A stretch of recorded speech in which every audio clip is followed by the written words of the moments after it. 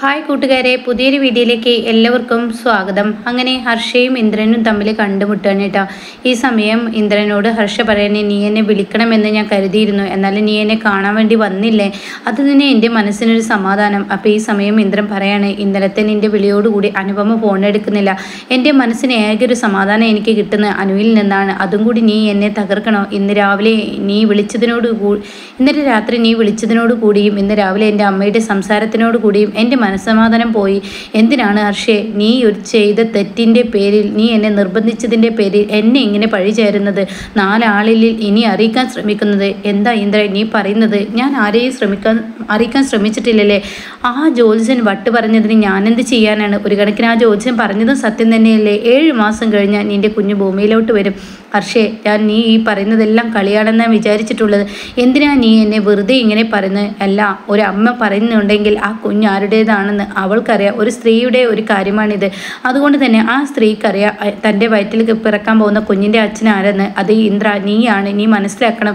ഇത് ഉള്ളത് തന്നെയാണ്. ഏഴ് മാസം അത് കഴിഞ്ഞ് നിന്റെ കുഞ്ഞ് ഭൂമിയിലോട്ട് വരും. എന്തിനാ ഹർഷേ നീ എന്റെ സമാധാനം കളയുന്നത്?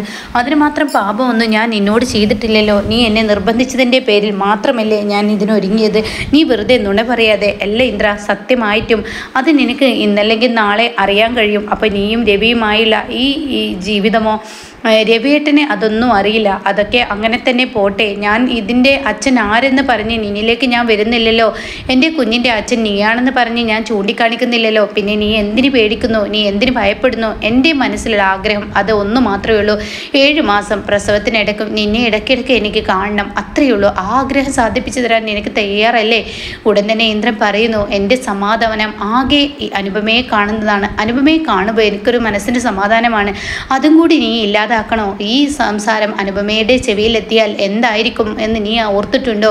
ഉടൻ തന്നെ ഹർഷ പറയാണ് അതിന് ഞാൻ പറഞ്ഞെങ്കിലല്ലേ? ജോത്സ്യം പറഞ്ഞു എന്ന് വെച്ച് അതൊന്നും ആവില്ലല്ലോ. അതും ആരാണ് അറിഞ്ഞിട്ടുള്ളത് ആ ബാനമ്മ അത് ഇത്ര വിഷയമാക്കൊന്നുമില്ല. നീ ഇത് സമാധാനമൊന്നും പറയേണ്ടി വരില്ല. ഞാൻ നിന്നോടൊരു കാര്യം പറയട്ടെ. നിന്റെ ഇപ്പോഴത്തെ മനസമാധാനക്കിടെ എന്താ?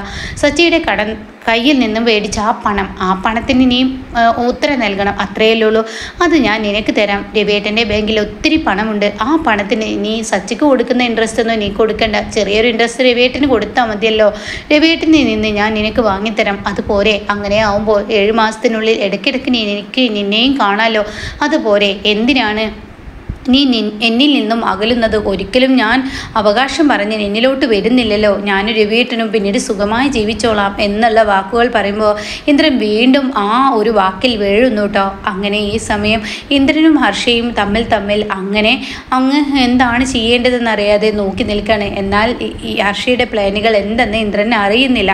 എന്നാൽ ഈ സമയം ഇങ്ങനെ നമ്മുടെ ദയയാണ് കാണിക്കുന്നത്. ദയ ഇങ്ങനെ നിൽക്കുന്നു.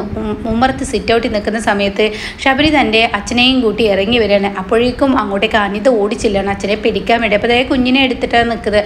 അപ്പോൾ രാമനാഥൻ പറയുന്നുണ്ട് എനിക്ക് വലിയ വിഷയമൊന്നുമില്ല. എന്നെ പിടിക്കൊന്നും വേണ്ട. എന്നാലും അച്ഛ അങ്ങനെയല്ല. പിടിക്കണം എന്ന് പറയാണ്. അപ്പോഴേക്കും ധനനും വാസന്തിയും ഓടി വരികയാണ്. അപ്പോൾ ഈ സമയം അച്ഛ എങ്ങനെയുണ്ട് ഞാൻ ഹോസ്പിറ്റലിലേക്ക് വിളിക്കണം എന്ന് വിചാരിച്ച ശബരി. നീ അഡ്മിറ്റ് ആയോ എന്ന് കരുതി. എന്നിട്ടൊരു ഫോൺ കോൾ പോലും എനിക്ക് എന്നിലോട്ട് കണ്ടില്ലല്ലോ എന്ന് ശബരി പറഞ്ഞു ഉടനെ തന്നെ അങ്ങ് ദേഷ്യം പിടിക്കാണ് ദയ ദയവറിയാണ് നിങ്ങൾ ഈ നോക്കി നിൽക്കുന്നവരെ അനുദേശിച്ച് അങ്ങ് മാറ്റി നിർത്തി. നിങ്ങൾക്ക് ധനേട്ടാ അച്ഛനെ ഒന്ന് പിടിച്ചൂടെ? അപ്പോൾ തന്നെ അത് നീ പറഞ്ഞു തരണ്ട. അപ്പോൾ ഇപ്പോൾ ഒരാൾ പിടിക്കുന്നുണ്ടല്ലോ. പിന്നെ വേറൊരാൾ പിടിക്കേണ്ട ആവശ്യം എന്താ എന്ന് പറയുമ്പോൾ രാമനാഥൻ പറയണേ എനിക്ക് കിടക്കണം. അപ്പോഴേക്കും ശബരി പറയണേ എനിക്ക് ഓഫീസിലോട്ട് പോകണം. ഞാൻ കിടത്തട്ടെ എന്ന് പറഞ്ഞ് എല്ലാവരും റൂമിൽ പോയിരിക്കണം കേട്ടോ. അങ്ങനെ രാമനാഥനെ ഇരുത്തുകയാണ്. അപ്പോൾ ഈ സമയം വാസന്തി ധനനോട് പറയാൻ എന്താണ് നിങ്ങൾ നോക്കി നിൽക്കുന്നത്? വാ നമുക്ക് അങ്ങോട്ടേക്ക് പോവാം എന്ന് പറഞ്ഞിട്ട് അവരങ്ങോട്ടേക്ക് പോവുകയാണ്. എന്നിട്ട് ദയ അങ്ങനെ കുഞ്ഞിനെ കൊഞ്ചിച്ചും കൊണ്ട് ഇരിക്കുന്നുണ്ട് അപ്പോൾ രാമനാഥൻ പറയാണ് "മ- മതി. ഇംഗ്ലീഷ് മരുന്ന് കഴിച്ചു കഴിച്ചു മടുത്തു. ഇനിയും ഭേദമില്ലെങ്കിൽ ഇനി ആയുർവേദത്തിലോട്ട് മാറാം. അപ്പോൾ തന്നെ വാസന്തി പറയണം അത് ശരിയാണ്. നമുക്ക് ആയുർവേദത്തിലോട്ട് മാറണം. അപ്പോൾ ഈ സമയം തന്നെ ഇങ്ങനെ എക്സ്റേ ഒക്കെ ഇങ്ങനെ നോക്കുന്നുണ്ട് കേട്ടോ അപ്പോൾ അനിതയോട് അവിടെ ശബരി പറയണേ അനിതേച്ചി ഇത് ഫ്രിഡ്ജിൽ വെക്കാനുള്ള മരുന്നാണ്. ഇത് ഫ്രിഡ്ജിൽ കൊണ്ടുവെക്കുക അത് കാണുന്ന ദയക്ക് അങ്ങ് ദേഷ്യം പിടിക്കണം. ദയ പറയണേ ഇതുവരെ ഹോസ്പിറ്റലിൽ കൊണ്ടുപോയി വന്ന് നിങ്ങൾ ഇവിടെ അച്ഛനെ എത്തിച്ചു. ഇനി ഫ്രിഡ്ജിൽ വെക്കാനുള്ള മരുന്ന് നിങ്ങൾ എന്തിനാ അവരുടെ അടുത്ത് കൊടുക്കുന്നത്? ഞാനില്ല ഇവിടെ നിൽക്കുന്നത് അതിന് ദയെ നീ അതൊരു കുറ്റമാക്കി എടുക്കണ്ട. നിന്റെ കയ്യിൽ കുഞ്ഞല്ലേ? കുഞ്ഞാണെങ്കിലും ഇതുവരെ കൊണ്ടുപോകാമെങ്കിൽ ബാക്കിയുള്ളതും ചെയ്യാൻ നിങ്ങൾക്ക് കഴിയില്ലേ? എന്ന് പറയുമ്പോൾ എനിക്ക് പെട്ടെന്ന് ഓഫീസിലോട്ട് പോകണം അച്ഛാ. കാരണം ഞാൻ ഇവിടെ നിൽക്കാൻ കഴിയില്ല. ഇവരെല്ലാവരും കൂടി നിങ്ങളെല്ലാവരും കൂടി അച്ഛനെ നോക്ക് എന്നിങ്ങനെ പറയുമ്പോൾ രാമനാഥൻ പറയാം എന്നെ ആരും നോക്കണ്ട. അതിന് മാത്രം രോഗമൊന്നും എനിക്കായിട്ടില്ല. എന്ന് പറയുന്നു കേട്ടോ.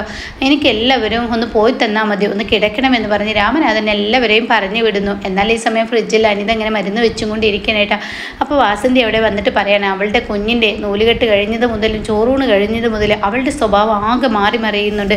ദൈ എന്തോ മനസ്സിൽ കുറിച്ചിട്ടുണ്ട്. ആ കുറിച്ച് പെരുമാറ്റമാണ് അവളിൽ കാണുന്നതെന്ന് പറയുമ്പോൾ ഒരു പേടിയൊക്കെ അനിതക്കും തോന്നി തുടങ്ങുന്നു കേട്ടോ.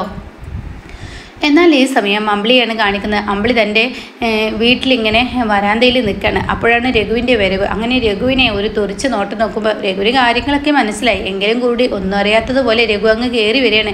അപ്പോഴേക്കും അമ്പിളി "ഏ, ആ മനുഷ്യ നിങ്ങൾ എന്നെ കണ്ടിട്ടും എന്ന് പറയുമ്പോൾ എന്താ അമ്പിളി നീ ഇന്നും കലിപ്പിലാണോ? ഇന്നും ഈ വീട്ടിൽ തല്ലുണ്ടാക്കിയോ? അതാണോ ഉമ്മറപ്പടിയിൽ വന്ന് നിൽക്കുന്നത്? നിങ്ങൾ എപ്പോഴും എന്നെ ഇങ്ങനെ കുറ്റപ്പെടുത്തിക്കോ? നിങ്ങൾക്കൊരു നല്ല ജോലി കിട്ടിയിരിക്കുന്നു. അതിനിടയ്ക്ക് നീ ആ വട്ടം പിന്നെ അടുത്ത് പോയി. എന്തിനാണ് നിങ്ങൾക്ക് വഴക്കുണ്ടാക്കുന്നത്? അതിന്റെ ആവശ്യം നിങ്ങൾക്ക് എന്താ എന്നിങ്ങനെ രഘുനോട് ചോദിക്കുമ്പോൾ ഞാനേ ഇത് കുഞ്ഞുങ്ങൾക്ക് കൂടുന്ന സ്വീറ്റ്സും കുറച്ച് ചോക്ലേറ്റുമാണ് നീ ഇതെടുത്ത് വെക്ക്. അതൊക്കെ ഞാൻ വാങ്ങിച്ചോളാം. നിങ്ങളോട് ചോദിച്ചതിന് മറുപടി പറ. അപ്പോഴേക്കും അവിടെ അനുഭവം വന്നിരിക്കുന്നു. അങ്ങനെ അനുഭവം പറയണേ ചേച്ചി ഇപ്പോൾ ഒരു പ്രശ്നവുമില്ലല്ലോ. അല്ല ആ വട്ടമ്മിനെയും കാരണം ഇനി എന്റെ രഘുവേട്ടൻ ജയിലിൽ പോയി കിടക്കേണ്ടി വരുമോ എന്നൊന്നും പറയാൻ പറ്റില്ല.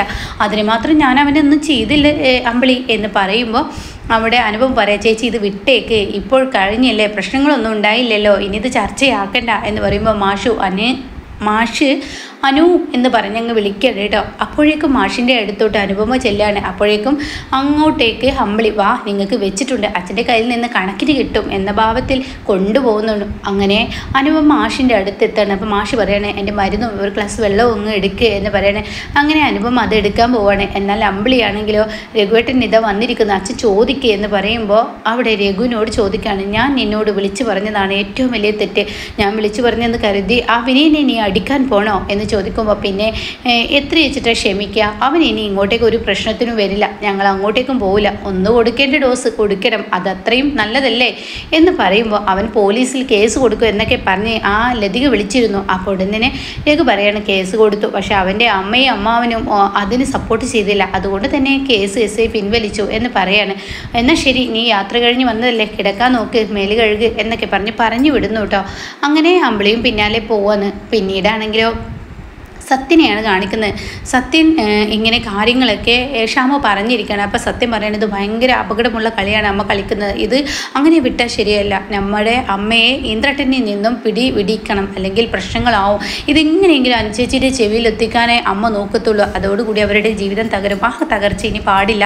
ഷ്യാം എന്ന് പറയുമ്പോൾ നമുക്ക് എന്ത് ചെയ്യാൻ പറ്റും? നമുക്ക് പലതും ചെയ്യാൻ പറ്റും. അതിനുള്ള വഴികൾ ഞാൻ പറഞ്ഞു തരാം. എന്തായാലും ഷ്യാം ഇത് പെട്ടെന്ന് ഇതിനൊരു തീർപ്പുണ്ടാക്കണം. അനുചേച്ചി ഒരിക്കലും ഇതിലെത്തിക്ക ഇതിലെത്തരുത്. അപ്പോൾ എടുത്തിട്ട് ക്ഷാമ പറയല്ലേ നമുക്ക് ആ ജോത്സിനെ ചെന്ന് കണ്ടാൽ മതിയല്ലോ. അതെന്തെങ്കിലും ചെയ്യണം. ജോത്സിനെ കാണുന്നതിനേക്കാൾ മുഖ്യം വേറെയും പണിയുണ്ട് എന്ന് പറയാനേട്ടാ എന്നാൽ ഈ സമയം ചീരുവിനെയാണ് കാണിക്കുന്നത്. ചീരു ആണെങ്കിലോ അനുപമയുടെ അടുത്ത് നിൽക്കുന്നു. പാലിങ്ങനെ കുഞ്ഞിനെ തിളപ്പിച്ചുകൊണ്ടിരിക്കുകയാണ്. ആ സമയം അനുപം പറയണേ ഇത് കൈവിട്ട കളിയാണ്. അപ്പോൾ ചീരു പറയണേ അനു അനുചേച്ചി പഴയതുപോലെയല്ല. അച്ഛൻ അച്ഛൻ എന്തിന് ഏതിന് ഇപ്പോൾ നല്ല വീറും വാശിയും ഗംഭീരത്തോടു കൂടി ചൂടോടു കൂടി കൈകാര്യം ചെയ്യുന്നത് കൊണ്ട് തന്നെ ഞാൻ രക്ഷപ്പെട്ടു. അല്ലായിരുന്നെങ്കിൽ ഇതിന് എന്തെങ്കിലും ഒരു പ്രശ്നമായിത്തീരുന്നു എല്ലാവരും കൂടി എന്നെ പറഞ്ഞു വിട്ടിരുന്നു. അപ്പോൾ ഉടനെ തന്നെ അനുപം പറയാം അതാണ് എന്റെ പേടി. അച്ഛൻ പഴയ ആ ആളല്ല. അച്ഛന്റെ നന്മ പോയിരിക്കുന്നു. അച്ഛൻ ഇപ്പോൾ എന്തും നേരിടും നേരിടുന്ന ആളും പെട്ടെന്ന് പ്രഷറോട് കൂടി കൈകാര്യം ചെയ്യുന്ന ആളുമാണ്. അതുകൊണ്ട് നമ്മൾ ഈ ചെയ്യുന്നത് വലിയൊരു തെറ്റാണ്. എന്ത് തെറ്റ്? ആ വിനയനെ പോലെ വിനയന്റെ കുഞ്ഞിനെ നശിപ്പിക്കുന്നതാണോ ഇത്ര തെറ്റ്? ഇതിപ്പോൾ ഒരു കുഞ്ഞ് എന്ന് പറയാനും പോലും പറ്റില്ല. കുഞ്ഞായില്ലല്ലോ എങ്കിലല്ലേ നശിപ്പിക്കുക ഇപ്പോഴാകുമ്പോൾ അത് യാതൊരുവിധ തെറ്റുമില്ല. അപ്പോൾ അനുഭവം പറയണം അത് ശരിയാണ്. കുഞ്ഞായിട്ടില്ല. മറ്റതൊരു ജീവൻ കളയുന്നു എന്ന് പറയാം. എന്നാൽ ഇത് ജീവനായിട്ടില്ല. അതുകൊണ്ട് തന്നെ എന്ന് പറഞ്ഞിട്ട് അനുഭവം പറയണേ നിന്നെ ആദ്യം കാണിച്ച ആ ഡോക്ടറില്ലേ അവരെ അറിയോ? ആ എനിക്കറിയാം. അവർക്കൊരിക്കലും എന്നെ മറക്കാൻ കഴിയില്ല. ഇരട്ടക്കുട്ടികളെയല്ലോ ഞാൻ പ്രസവിച്ചിട്ടുള്ളേ? എങ്കിൽ നമുക്ക് അങ്ങോട്ടേക്ക് പോവാം. അയ്യോ അത് ടൗണിലല്ലേ? എങ്ങനെ പോകാൻ കഴിയും? അപ്പോഴേക്കും അനുപമ അത് പറഞ്ഞ ഉടനെ ചീരി പറയാണ്. അത് സോറി അനുഭവം പറയാണ് അതിനൊക്കെ വഴിയുണ്ട്. കാരണം നമുക്ക് പോകാൻ കഴിയും. എന്തെങ്കിലും ഒരു കാര്യങ്ങൾ പറഞ്ഞ് ഇവിടെ നിന്നും ഇറങ്ങിയിട്ട് കാര്യങ്ങൾ നടത്തി തരണം. ഒരുപക്ഷെ അവരെന്റെ ദയനീയത കണ്ടിട്ട് നടത്തി തരുമായിരിക്കും എന്ന് തിരിച്ച് അനുപമയോടും ചേരു പറയുന്നു കേട്ടോ.